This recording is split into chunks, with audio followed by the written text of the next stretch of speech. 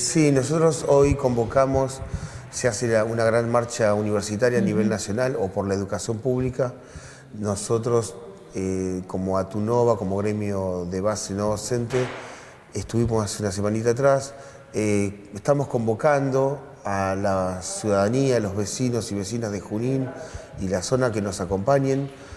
Hoy 18.30 horas en la Plaza de Ferrocarril vamos a estar realizando un acto, sería una parte, eh, concentramos, hacemos un inicio del acto, después hacemos una movilización por calle Roque Peña hasta la avenida o hasta la fuente de Millennium y de ahí ah, seguimos la movilización hasta lo que son los centros, hasta los institutos de formación profesional o los secundarios que están en la explanada de Colegio Normal Nacional. Muy bien, muy bien. Bueno, esto va a ser todo a partir de las 18.30 horas. Sí, tenemos la idea de que más o menos entre 18 y 18.30 horas puntualmente estamos eh, compartiendo la invitación.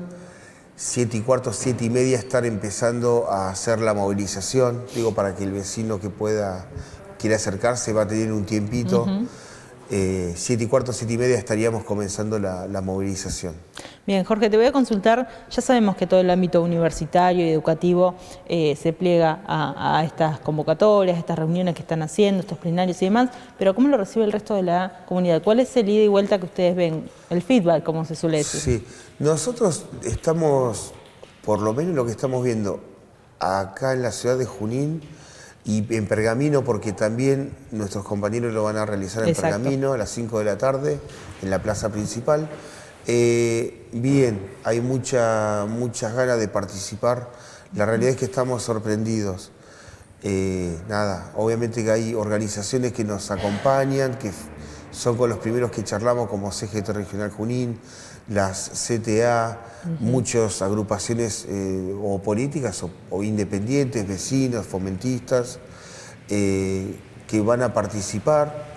También muchos vecinos este, que, son independientes y que tienen mucha relación con lo educativo, lo universitario en Junín. Tenemos o tengamos en cuenta que Junín es un polo educativo importante, donde tenemos una universidad pública y también tenemos varios institutos de formación profesional, digo, de los docentes que enseñan profesorados, eh, donde hay muchos estudiantes, es una ciudad, digamos, como universitaria o, de un polo educativo importante, y creo que la gente lo, entiende y lo, lo manifiesta. Bien, bien. Sí, esto que estás diciendo toda la zona, ¿no? Se alimenta un poco de lo que sucede aquí en la UNOVA. Tengamos en cuenta que hace tantísimos años está y, eh, bueno, fue fuente para que vengan desde la región a nuestra ciudad, se formen, trabajen en algunos casos aquí en Junín, ¿no? Es importante que acompañen esta lucha. Tal cual. Eh, también eh, tener en cuenta eso, hay muchos egresados, gente que ah, empezó a estudiar y por ahí por cuestiones de la vida dejó, pero sigue estando en relación con la ciudad de Junín o alrededor. También la realidad es que cuando vos comenzás en una carrera universitaria, el que puede cumplir el sueño de recibirse, además de formarse, mejorar su calidad de vida en su profesión, para la familia y también para el desarrollo de, de su región o su zona de donde vino. Y si no, aunque quede a mitad de camino, de todas maneras, cuando presenta el currículum, es un valor agregado que tiene ese estudiante.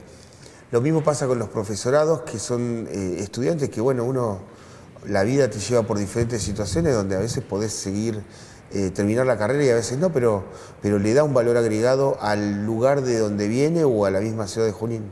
Bien, bueno, estamos hablando de la tarde de hoy donde habrá concentración, concentración y un acto en la plaza, dijiste, a partir de las 18.30 Plaza de Ferrocarril. Exactamente. Eh, ¿Mañana va a continuar esto o no? No, nosotros mañana, la verdad que después de esta gran marcha que se va a hacer a nivel nacional, no sabemos qué va a pasar mañana. Eh, estamos a la expectativa. Por el momento invitamos con, por, por un lado con preocupación, pero por otro lado con alegría de que la gente se sume, que defienda la educación pública. Nosotros sabemos que eh, el ciudadano, la, familia de, clase trabajadora, de clase media, la educación pública es la, posibilidad que tiene de poder eh, mandar a sus hijos desde el jardín hasta un terciario o un, o un, título universitario.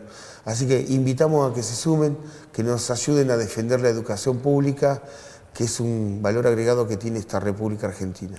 Bien, Jorge, muchísimas gracias y bueno, que sea todo con la mayor normalidad en la tarde de hoy. Bueno, gracias y los esperamos.